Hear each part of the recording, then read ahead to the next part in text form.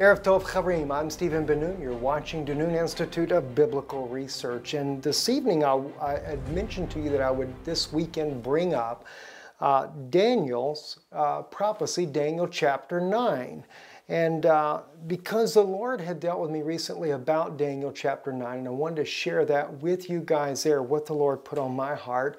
And, uh, and by the way, no, I'm not uh, in the camp of the futurists uh, that say, or the, or excuse me, the, the, the, camp that says that it's the futurists that only believe in a 70th week that is yet to be fulfilled and that the 70th week has been completely fulfilled. Uh, that's not what the Lord has dealt with me on.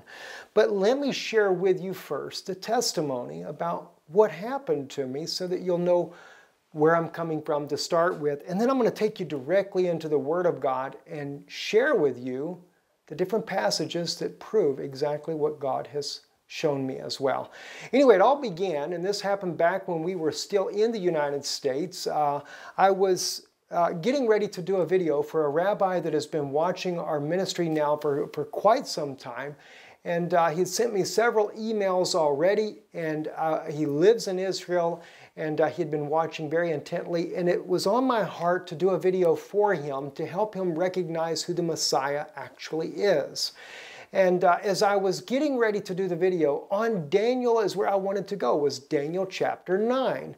And as I began to start the video, I got started. I was reading Daniel 9. I was showing the 70th week. I was talking about the 70th week and how that it had yet to be fulfilled. And suddenly, the Lord just came so heavily upon me. And I knew something was wrong. I didn't know what it was. I didn't really think it was what I was teaching, but something was not right. And I knew the Lord did not want me to speak to him about Daniel's 70th week. And so I stopped the video, never published it, didn't even finish making the video. And then I went to the closet to pray. And I began to pray sincerely before the Lord. And I said, Father, what is it that about Daniel's 70th week that you don't want me to say? What, what is this? What am I missing, Lord? And while I was sitting there praying, I, I prayed very fervently before the Lord. And then I, I was finished praying. And I had, of all things, uh, one of the Essene Gospels that I had printed out from online sitting uh, in a notebook right there on the shelf in the closet. And I started to, to, to reach up for it, and when I did, it fell into my hands before I could even touch it. And when it did, it opened up to, to a particular page. Now, what I'm about to share with you is something that has been written hundreds and hundreds of years ago, 2,000 years ago, in fact, by those that recorded the life of Yeshua in the Essene Gospel. Now, I realize there's a lot of different people have different views on the Essene Gospel. Some are for it, some against it, some say it's uh, this or that, and and that it wasn't really authenticated or whatsoever, or, or, different opinions on that. Well, everyone has their opinion on that, but I will say one thing, in what I have seen thus far in a lot of the writings of the Essene Gospel, there's a lot of it that is very prophetic, speaking about our day, that is undeniably accurate in its prophecies. And of course, much of it lines up with the very Gospels that we read. The only thing is, is just maybe another sentence that got left out in what we read. So therefore, I find it very interesting, as we are Danoon Institute of Biblical Research, a ministry that researches the Bible, researches texts, just like many of you believe in the book of Enoch. Well, interestingly enough, in the book of Enoch, the first part, part one of Enoch, is part of the Dead Sea Scrolls. Not part two and part three, but part one is. So I think it gives us more credence to believe that it is actually a good book to read. Not to mention, there is proven facts that the Essenes were the ones that actually had that early Bible, the oldest Bible that we have. A Bible that has not 150 Psalms, but 364 Psalms. Now keep that in mind because we're going to come back to that here in just a little bit. But 364 Psalms because why? The Essenes believed in what they called a solar calendar. Now, not like the Gregorian calendar, 365 and a quarter days in a year but they believe in 364 days in a year. And David is quoted in those Psalms as saying that he wrote a psalm for every day of the year. They also believe that Mount Zion was the holy mountain of God. Kind of interesting, especially since there are some uh, people pushing now that the temple was actually built there on Mount Zion. Well, if it is so, I kind of think it may have been built where David's tomb is today, or supposed tomb, or the site of the Last Supper of Yeshua. And that's all speculation because we don't know for sure, but just some thoughts to share with you.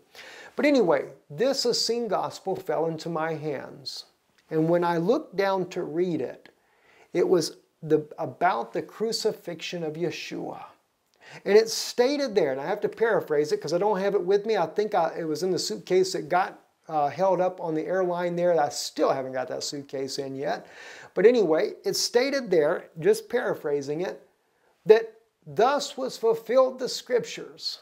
Not a bone in him was broken, and he was cut off in the midst of the week. Now that got my attention. In the midst of the week. It's referring to Daniel's prophecy of Daniel's 70th week. Not like some might conclude that it's actually speaking of the middle of the week that he was crucified in. That we know that doesn't seem to line up there, but they said it was the prophecy. He was cut off in the midst of the week. And I was blown away by this. That night, I did not sleep a single wink. I stayed up the rest of the night and I was in prayer before the Lord. And as I prayed and asked the Lord earnestly, because I knew that there were two schools of thoughts on this. And, and ironically, I know that there's some people that also believe that there's still three and a half years left to go. But the, the one group that believes that the 70th week of Daniel has already been fulfilled is actually a group that is still leaning towards a lot of the teachings of the church in early years. In fact, it was Hal Lindsey, from what my research has brought up, that is one that actually popularized the idea of the 70th week of Daniel being a future event that is yet to be fulfilled. And from him, Chuck Missler and others all picked up on this and they have taught this. This is not even taught in any of the earth history or documentation. Much of that documentation believes just the opposite. They either believe it's already been fulfilled or it's partially fulfilled. Well, according to the Essene Gospel of Yeshua, and I think that's in the Holy Twelve, if I remember it right, it is actually only half fulfilled. Well, as I prayed that night, sincerely before the Lord the entire night, and God began to lead me through the scriptures to prove that this was true. I want to share with you some of those facts that I was able to find as well. Let's first take a look at Daniel chapter 9. We're going to look at verse 20. We'll start with verse 24. 70 weeks are determined upon thy people upon thy holy city to finish the transgression and to make an end of sins and to make reconciliation for iniquity to bring in everlasting righteousness and to seal up the vision and prophecy and to anoint the most holy. Now, by the way, Yeshua must fulfill all of those scriptures there. And some people that say, as the futurists say, that the 70th week of Daniel has already been fulfilled, it would be preposterous to say so. And why do we say that? Because this particular scripture here says it finishes the transgression and makes an end of sin and make reconciliation for iniquity. Yeshua has not made an end of sin for the Jews yet, and it's determined on the Jewish people. It had nothing to do with the Gentiles. It was concerning Daniel and his people. See? Uh, for 70 weeks are determined upon thy people. He's speaking to Daniel, the Jews, and upon thy holy city, Jerusalem. So something is not yet finished because why? That transgression and that sin and that reconciliation for iniquity has yet to be fulfilled. That's Zechariah's prophecy, chapter 12, where it speaks about in Zechariah that they will look upon him whom they've pierced, and they will separate each one to their own family, and they will weep and mourn as a family did for days. Saying, oh my gosh, the, the, house of David and the house of Nathan apart, which is the tribe of Judah, the house of Benjamin, Benjamin apart, uh, the ben, or Shimei apart, which is he is a Benjamite, the house of Levi, and their, their families and wives apart, which is the, the tribe of Levi, and the families that remained, which were the Samaritans. God does say that He'll bring the house of Judah home first, that they do not lift up against the house of Israel. Why? Because it was the house of Judah that convicted and killed Yeshua in the first place.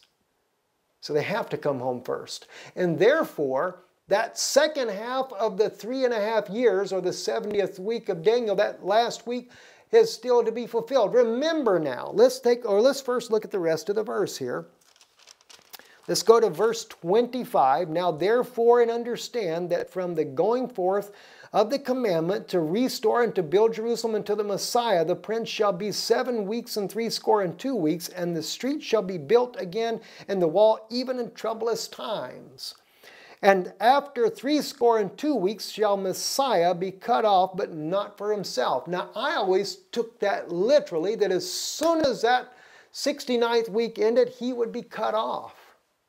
But when you begin to look at it a little deeper, we realize that it's not literally at the end of that 69th week, but it's after the 69th week he's cut off. So he could be cut off anywhere a day, a week, a month, a year, or three and a half years. And we know that Yeshua's ministry was three and a half years. Pardon me, I, I have no air conditioner. I have an air conditioner here, but I can't have it on because it makes too much noise in this room here. So anyway, forgive me for that. Uh, just very hot in here. So anyway, uh, he says here, uh, so the prince is cut off after that time. And after three score and two weeks shall Messiah be cut off, but not for himself, and the people of the prince that shall come shall destroy the city and the sanctuary. Now that is the Antichrist, or the Antichristo. And it clearly identifies that he is a Roman, the prince that shall come. See? All right, now watch what it says here though. The city and the sanctuary and the end thereof shall be with a flood, and unto the end of the war desolations are determined. Now, watch what he says here. And he shall confirm the covenant with many for one week. And in the midst of the week, he shall cause the sacrifice and oblation to cease. Now it's referring back to Yeshua. And you see, it was Yeshua. See, we, we've been, the whole doctrines of eschatology and everything have been totally revamped and rewritten here in modern times. The early Christians, all the way up until the time of, uh, of, the, of the 20th century, never believed that the 70th week of Daniel wasn't at least partially fulfilled. Like I said, Hal Lindsey, maybe his father Gordon Lindsay was one of the ones that popularized this particular teaching. Now, let me just stay, show you this here, though. It's very interesting. I say Gordon Lindsay's his father, I'm not sure. Uh, but anyway, it says here that, and he shall confirm the covenant with many for one week. Now that's, we have always, we've been thinking here for the last 60, 70 years since this got really popularized that this is dealing with the Antichrist because the Antichrist is clearly in verse 26, the prince that shall come. But the covenant is the renewed covenant that Yeshua made. And he does cut off the sacrifice, sacrificial service in the midst of the week. Because why? Now, there's many of you that I know that you guys don't like it when I quote Jeremiah's prophecy in chapter 7, where, uh, and let me just, I got to bring this up to you again. Uh, and, and, let me tell you something, friends. I mean, uh, there's all kinds of rumors going on about Brother Steve now because I'm willing to, to, to speak out about something. But do you have any idea how many people spoke out against the sacrificial service in our own Bible? I know that in the Essene Gospel, Yeshua speaks out against it as well. But Yeshua spoke out of it against it in the book that we have as well, in the book of Matthew what is it? The, I believe the 13th chapter. I'll take you to it in just a minute. But let me show you. In, in Jeremiah chapter 7, verse 22, as you guys are well familiar, I've already brought up, I spake not unto your fathers. Let me back up verse 21. Thus saith the Lord of hosts, the God of Israel, put your burnt offerings into your sacrifices and, and eat flesh it don't even make sense reading it that way. For I spake not unto your fathers, nor commanded them in the day that I brought them out of the land of Egypt concerning burnt offerings and sacrifices. Jeremiah says that God never spoke to our fathers about that. Well, you know, I did a little research, and when I researched it and everything, it's kind of interesting. You know, in Malachi chapter 4, when God speaks about the sacrifices here, do you know that in, in, in Malachi, in chapter 4, let me just take you to this real quick because we're going to come back to Jeremiah in a minute. I want to show you something else in Jeremiah. And by the way, those that don't believe that God spoke in, in our own Bible, Hosea speaks about God not wanting sacrifice and offerings, David speaks about it, uh, uh, many, many scriptures. And, and so we have to wonder how did this all come out? Because here Jeremiah is challenging that God never spoke about it. Well, that was kind of interesting because I was looking the other day, the Lord put it on my heart, go to, go to Malachi. And I went back to Malachi. Now, this is where it speaks about the coming of Elijah. Now, Yeshua does apply part of that verse to John the Baptist. I agree with that. He does.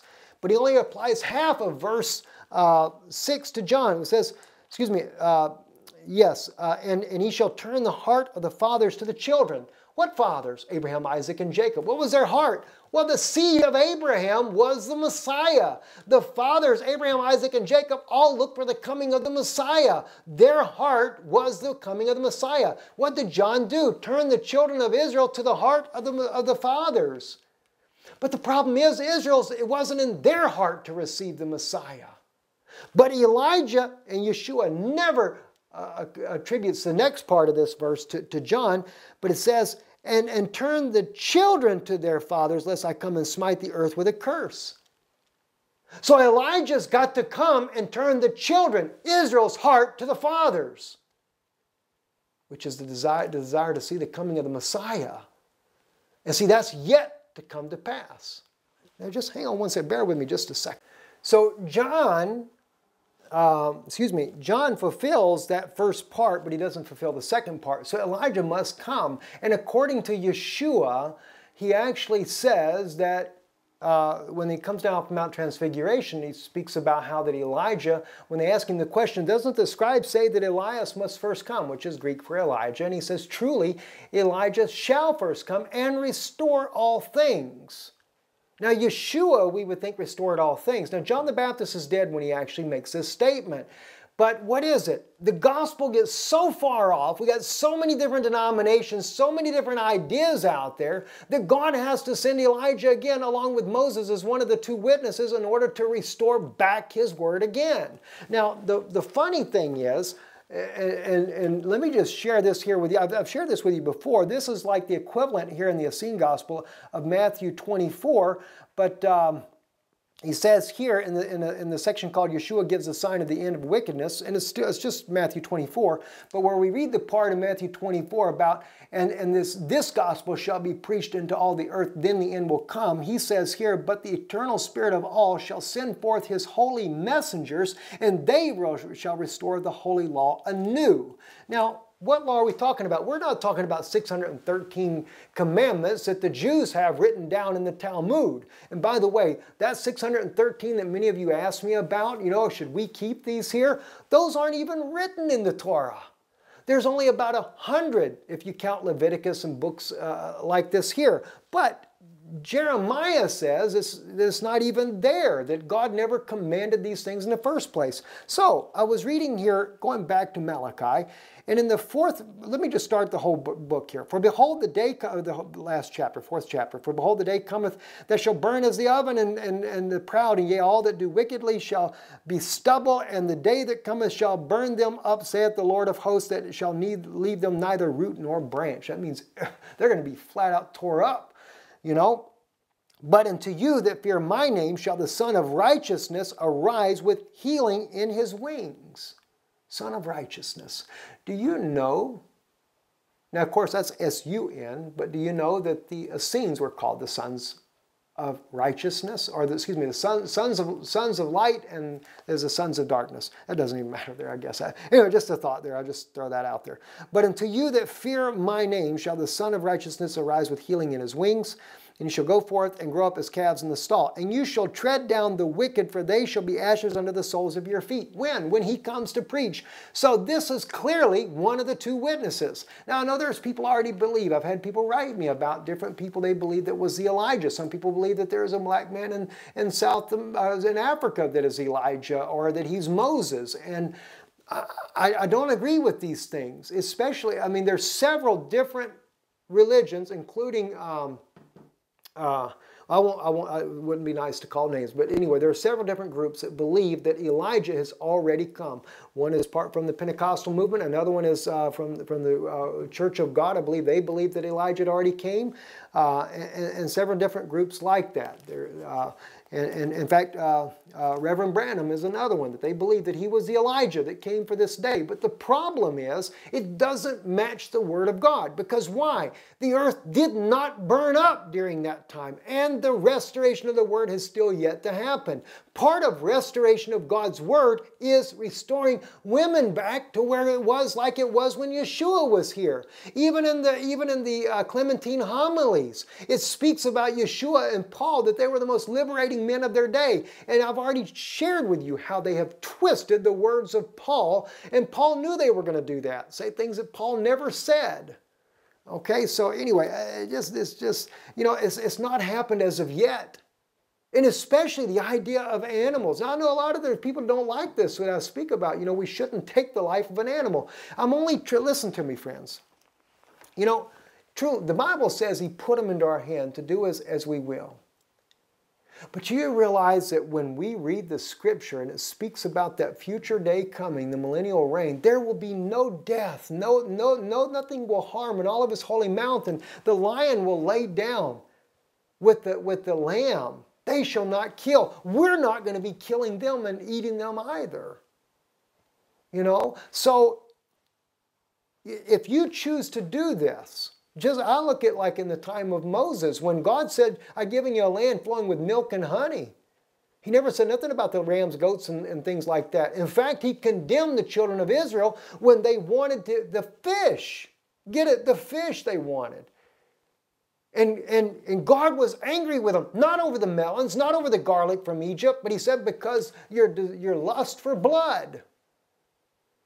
You see, why? God was trying to restore his people back to the original word. It's not that he won't allow it, then he give them the quail. He allowed them to eat it. He said, You'll eat it till it comes out your nose and out your mouth and out your ears. Imagine that.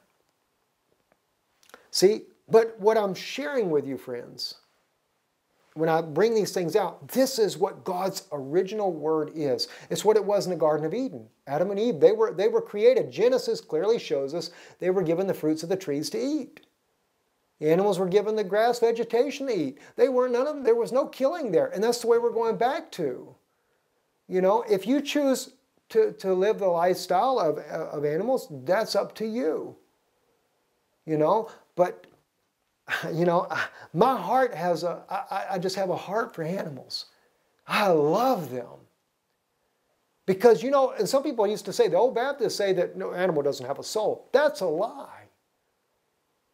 You don't see it in your writing there, but in Genesis, God says they have nephesh chai.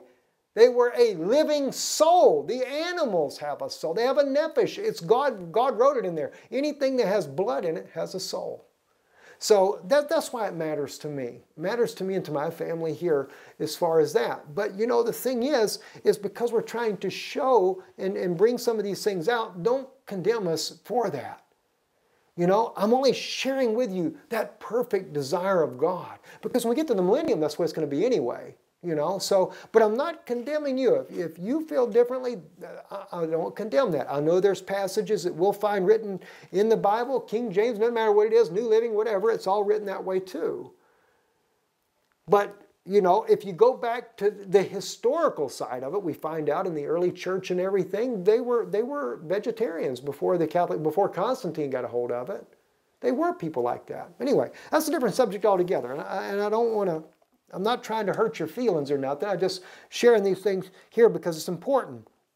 All right, now, here's what he says though. He says in verse 4 Remember ye the law of Moses, my servant, which I commanded unto him in Horeb for all Israel with the statutes and the judgments. And I thought,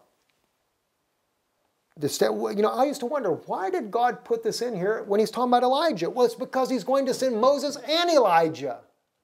Well, you know, the funny thing is, do you know where this is actually written at? This is written in Deuteronomy. And so when you go back to Deuteronomy, if you want to find out when God brings down the law, the one place it records, because see, the, here's what's kind of awkward. In the Bible that we have, we have here written that the Ten Commandments come from Mount Sinai, and then in the book of Deuteronomy in chapter 5, it says that the, the Ten Commandments come from Mount Horeb that Moses brought him down from Mount Horeb. Well the, well, the funny thing is, when you read over here in Deuteronomy in chapter 5, I went through this just to make dead sure.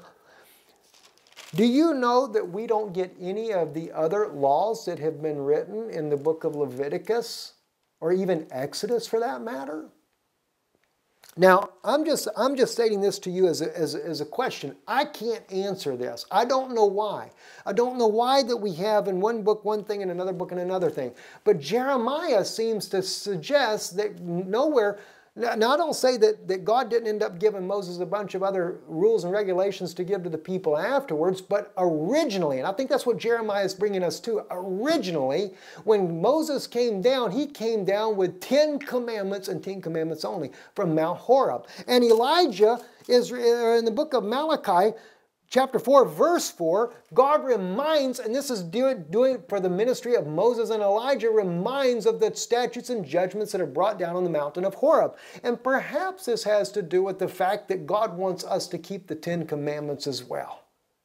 And by the way, the statutes that he includes with those Ten Commandments is the Lord thy God is one, and you shall love your your God with all your heart, soul, and mind. Just what Yeshua brings out as well. But we find the Ten Commandments there. It's exactly what he brings out. It's in chapter 5. Verse 7, Thou shalt have no other gods before me. Verse 8, Thou shalt not make thee any graven images. That's the second commandment. Third commandment is in verse 11, Thou shalt not take the name of the Lord thy God in vain. By the way, the second one the, the Catholic Church took out. Thank you, Pope Francis. Appreciate you changing that one. Of course, people say it was already done. Okay, I appreciate that too, but still, nonetheless, is fulfilling biblical scripture or biblical prophecy.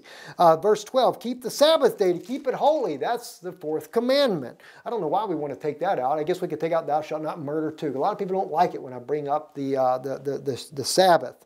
Okay, but anyway, in verse 16, honor thy father and thy mother. Uh, that's the fifth commandment. Verse 17, thou shalt not kill. Sixth commandment. Not, uh, seventh commandment, neither shalt thou commit adultery. And uh, verse 19 is the eighth commandment, neither shalt thou steal. Uh, and also verse 20 as the ninth commandment, neither shalt thou bear false witness against thy neighbor.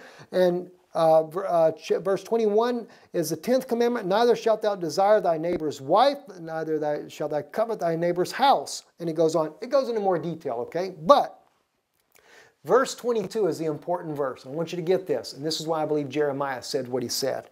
Verse 22 says, These words the Lord spake unto all your assembly in the mount of your midst, in the fire of the cloud, in the thick darkness, and with a great voice, and he added no more. Jeremiah said God didn't command sacrifice. You know, he didn't command the, the sacrificial service that we have. Now, I'm just telling you what it says here. Now, you have to take that up with God because I, uh, I, can't go. I can't say anymore. Now, when you get to the statutes, that's in chapter six, and here's the statutes, verse four and verse five. Hear, O Israel, the Lord your God is one Lord.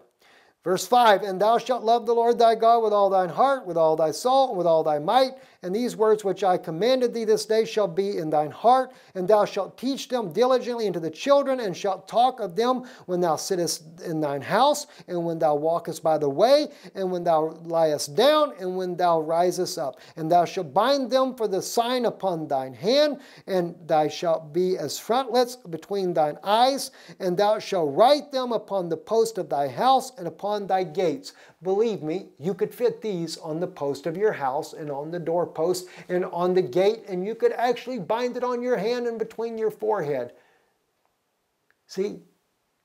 But if you had to do the 613, they're not going to fit very well, are they? They won't. You'd have to have a mighty big door. Anyway, so Jeremiah, was he wrong in saying that? I don't believe he was. How the other part come into being? Now, I'm not going to argue that. That's, that's I, I can't say it. David says in the Psalm, Psalm chapter 51, sacrifice, uh, you know, the, the God, well, let me take you to it real quick. I just got, uh, you know, I'm just trying to show you because we're dealing with Daniel's 70th week. There's a reason for all this, so just bear with me. Psalm chapter 51. Uh, there's, there's there's so many that say this, you would not even believe it. I, I don't understand it. Unless it's God's permissive will or whatever, I don't understand. Anyway, David says here in the 51st, let's see. Um, mm, Create in me a clean heart, O God, and renew a right spirit within me. Cast me not away from thy presence, and take not thy Holy Spirit from me. Restore unto me the joy of thy salvation. Um, wait a minute, that's not. Oh gosh, I thought I had it marked in here. I don't. But anyway, he says, uh, he speaks about uh, offering sacrifice, and he said, had he, if God had commanded, he would have done it. He says, but you have not required that. And I, I don't have my notes in front of me for that. Anyway, let's go back to, to, to, Jeremiah, to Jeremiah, though, one more time. I want to share with you something here again. Um, the word that came to Jeremiah from the Lord saying, Stand in the gate of the Lord's house and proclaim there the word and say, Hear the word of the Lord, all you of Judah that enter in at, the, at these gates to worship the Lord. Thus saith the Lord of hosts, the God of Israel, amend your ways and your doings, and I will cause you to dwell in this place. Trust you not in lying words, saying, The temple of the Lord, the temple of the Lord, the temple of the Lord.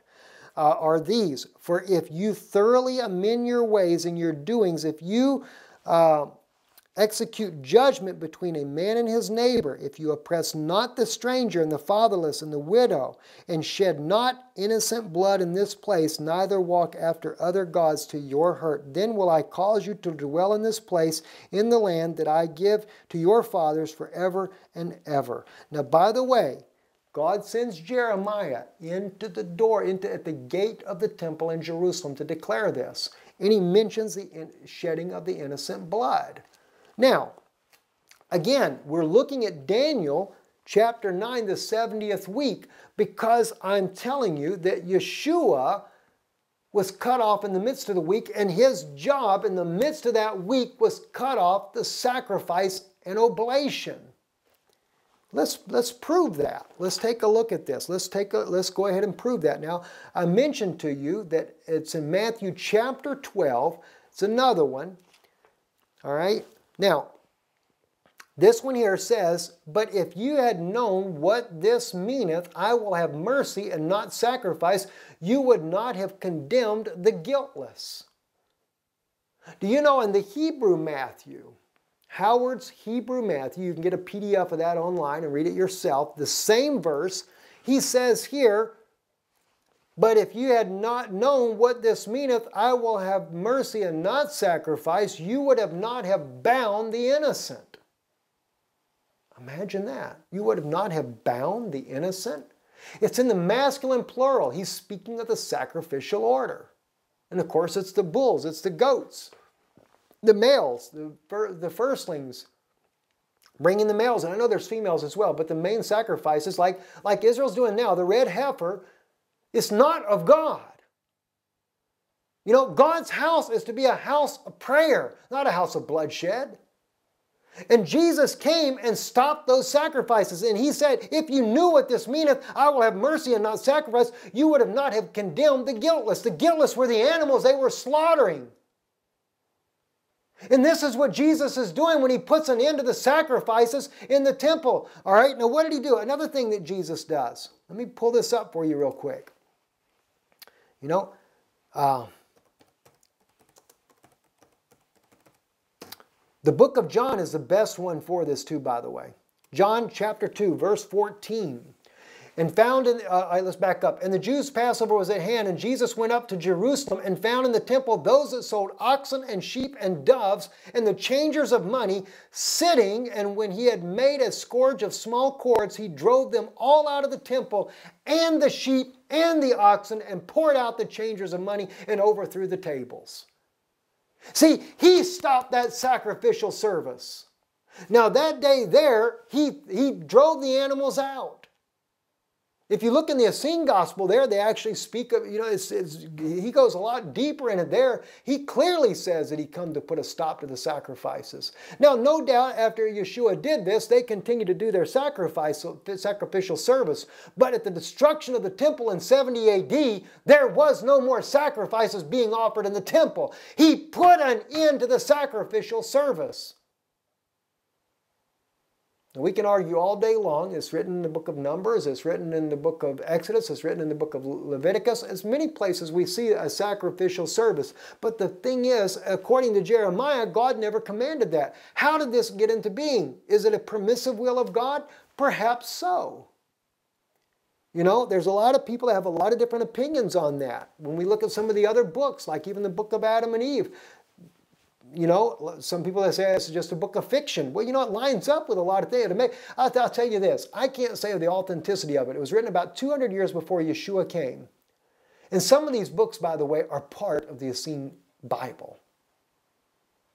Part of the Essene Bible. You'd be surprised. The book of Enoch, as I said before, is part of the Essene Bible. You know, in fact, the book of Enoch says that eating of meat was taught by the fallen angels. Figure that one out.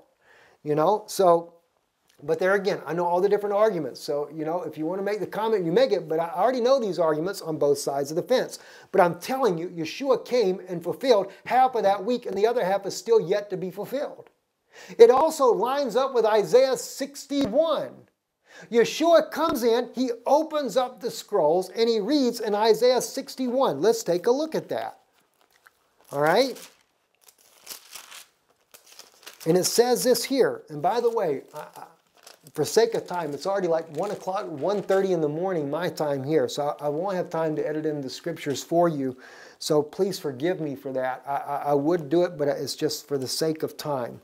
Um, Isaiah 61, Yeshua reads this The Spirit of the Lord God is upon me, because the Lord hath anointed me to preach good tidings and the meek, and he hath sent me to bind up the brokenhearted, to proclaim the liberty to the captives, and the opening of the prison to them that are bound, to proclaim the acceptable year of the Lord. Halfway in the verse, he stops, he closes the scroll, and he said, This day, this scripture is fulfilled in your hearing. And all the eyes were fastened upon him when he read it. Half the verse. Why? Because he was cut off in half the week. And also, half of his ministry was fulfilled. That's the covenant for one week is the covenant he makes with Israel. Until the fullness of the Gentiles be come in. Then he turns back to the Jews. There's three and a half years still left for the Jewish people.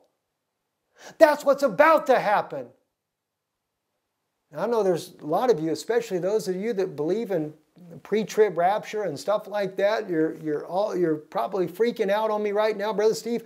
I thought there was a rapture going to come. I do. There is a rapture coming. I believe that 100%. But I've always told you, God spares us of His judgment, not man's.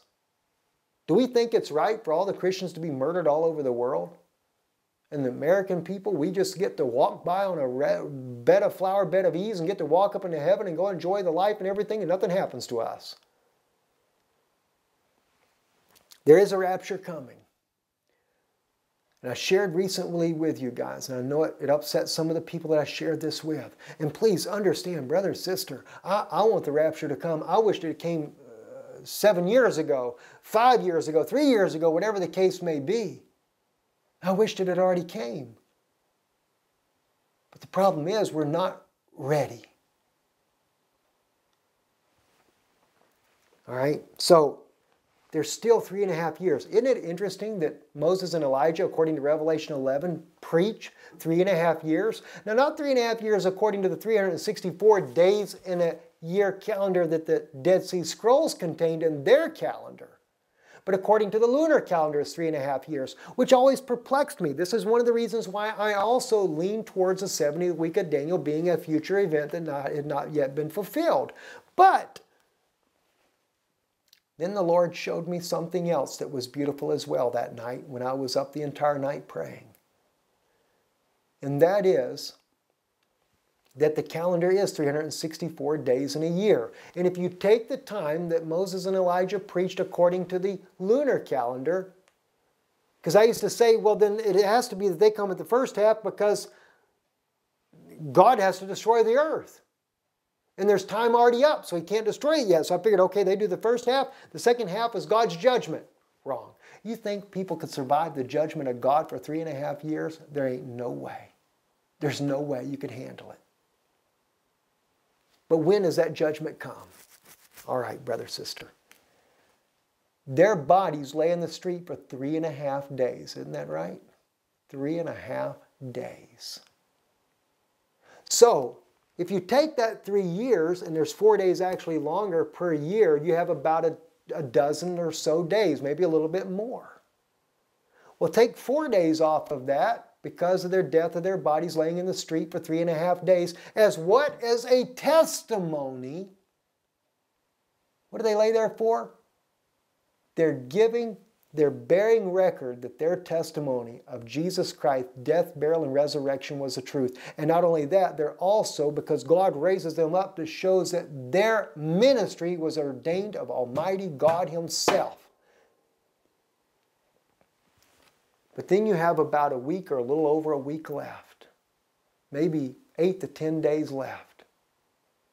Well, I happen to be reading, I think, it, I want to say it was the Apocalypse of Abraham, another one of these books here. And when it speaks in that book there, it speaks about, and it could have been the Apocalypse of Thomas, I forget which one it was. It speaks about the number of days that God pours out the judgment on this earth where it speaks about what we have in our Bible. They cried out, Let the rocks fall on us and hide us from him that is to come. Where it speaks about the heaven will part like a scroll. And all these judgments begin to fall upon this earth and upon those that rejected the ministry of Moses and Elijah. And it's written in the Essene Gospel that he will send his angels and they will gather up his elect and will hide them until what? The wrath of God is past. They fulfill Yeshua's other half of his ministry because it's the Holy Spirit in them, it's Christ in them fulfilling the other half of the because the, the, the covenant is for one week. One week to who? Daniel said, God said, the angel said to Daniel, to, to your people and to Jerusalem. So Micah 4, they go back to Mount Zion, but they have to go out and dwell in the fields. Uh, all these things that are happening. But see, God is not allowing the covenant to Israel to be fulfilled until the two witnesses come on the scene.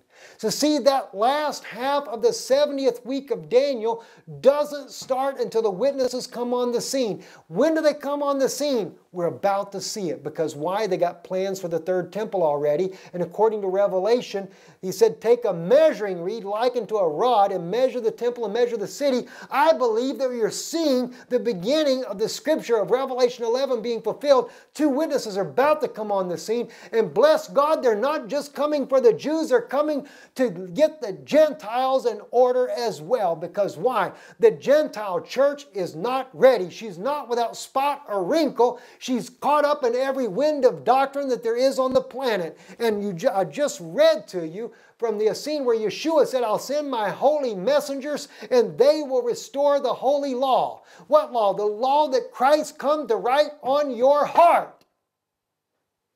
It should be in your heart not to kill. It should be in your heart to keep the Sabbath. Not that you have to. It should be in your heart not to covet your neighbor's wife.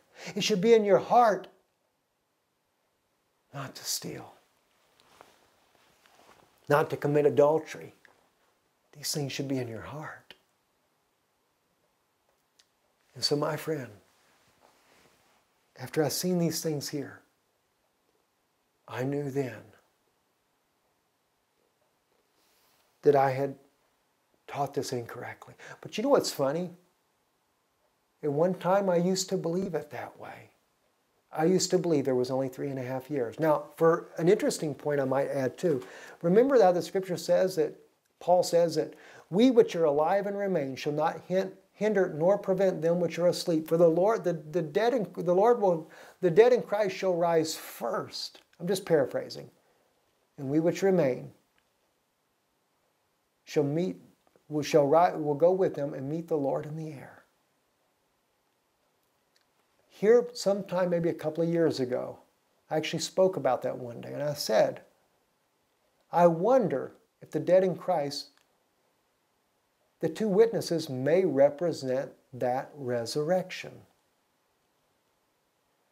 Can't say it's so, because we do, I do know that the rest of the dead in Christ will rise as well. Clearly, it says it. Even the apocalypse of Abraham speaks about he'll raise up all the dead. And they'll be caught up. The angels will literally go and gather their bodies wherever they are on the earth, and the souls will be joined with them. And they'll be changed in the moment, twinkling of an eye, like we read in our Bible. We shall meet the Lord in the air. He'll hide us away. But both Jew and Gentile will hear the message the two witnesses. Because God's got to restore the pure word, the pure gospel. And even like these, these issues or these questions that we have. You know, some people say, well, there's no contradictions in the Bible. I, I would love to say that myself. But I have to be honest and truthful. You know, it seemed odd that Paul would have these sisters following him in his ministry, but then would tell them to shut up. They can't speak. That seemed odd, didn't it, sisters? But as we researched and dug deep, we found out that just like Jesus came to set what? The captives free. What is the gospel? Setting free those that are imprisoned, imprisoned by doctrines, denominational differences, and everything else. And then they say that, oh, the man is the head of the house. He's, you know, we believe in the headship doctrine. Does that mean then when your husband that you're going to have to obey him, that when he leads you to a false doctrine, to a, a cult like Jehovah's Witnesses or something like that, that as long as you obey your husband, you'll be saved? No, God doesn't save you, sister, based on whether or not you obey your husband. God saves you on whether or not you believe Yeshua to be the Messiah. And he doesn't save you, sisters, because you can birth babies. That just that should have been that should have been common sense. Oh, you shall be saved in childbirth. Excuse me, brethren, don't you even have enough sense to know that women birthing children is not the way of salvation, is through Jesus Christ and Him alone? Through the repentant heart of the sinner? That's the way of salvation. Anyway, I trust this has been a blessing. Please don't misunderstand what I'm saying here. You know, I love the Bible that we have, but I'm very concerned about what about the, the things that have been hidden from us? And, I, and just like the Bible here, we see that there's been issues in the translation. It's not, it's not the prophets that spoke it. It's not Moses. It's not Jeremiah, Ezekiel, and, and, and Isaiah and all these other prophets. It's what they tampered with it with. Why did Isaiah say in chapter 66 to kill an ox as if you killed a man? He was prophesying of them building the third temple. God has no problem with the third temple if it's a house of prayer. He would never condemn the third temple being built if it was used as a house of prayer. But remember, ye are the temple of God. Isn't it interesting? The Lord brought this to my heart just yesterday. I was thinking about how Jesus was talking to his disciples. Or not to his disciples, talking to the Pharisees. He said, You are like whited sepulchres. He said, Outwardly, you look real good, but inwardly, you're full of dead man's bones. Then I noticed that in the Bible, in the King James, the word men's, M-E-N apostrophe S, is a, was uh, italicized. So I looked at it in the original Hebrew. Excuse me, in the original Greek. It doesn't say dead men's bones. It just says you are filled with dead bones. Then I took a little peek into the Essene Gospel because it matches up, same verses and everything. It just says you're full of dead things. Now, see, we are the temple of God. And he was typing the Pharisees to the temple where the Holy of Holies dwelt. And he, and he shows that they were like a grave. On the outside, it looked good, but the inside, they're full of the dead. That ought to make people think. What do you think? Mm. Anyway, God bless you guys. We love you. Stand with us in this ministry. We need your support now more than ever. And by the way, not only do we need your support, Brother Kellen, with with um, with the ministry that he or the, the, the meeting that he's put together in September the 16th through the 18th, reconciliationwithisrael.com. Look up his website. You know, it doesn't take a lot there. If you can just give a little bit there towards helping cover the cost of the venue there. That brother has opened it up with several, quite a few speakers there. He's asked me and my wife to speak there. We'll be speaking there. In fact, you always want to do something for Israel. That's one thing you can. There's going to be a lot of Orthodox Jews at this meeting. Sits 700 people, and over half of them will be Jews. And God has given me the opportunity to speak to my people publicly. If you can take and contribute a little bit towards the cost of the venue there, it'd be greatly appreciated. And again, remember us in this ministry here. The more that I stand for truth, the less people want to support. But would you rather me just tickle your ears like all the other pastors do in the world? Or do you want me to tell you the truth? I love you. I feel obligated to tell you what's truth because I do love you you could go to IsraelReturns.com. There's a place to donate. Also in the contact section is our address in Florida where Sister Lisa helps us with that there. Pray about it and see how the Lord leads you. We need your help in doing so, especially in September, before the Pope of Rome and the, and the United Nations destroy Israel. We're going to have a chance we're going there, it's a, it's a conference against anti Semitism towards the Jews, but we're going there to reveal to the Jewish people how Pope Francis has fulfilled biblical prophecy and how that Yeshua is the true Messiah.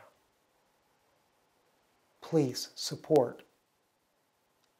Support the venue, reconciliationwithisrael.com. Support the work we're doing. We need your help. It's very expensive when we're in Israel. We need your help in this. God bless you and shalom.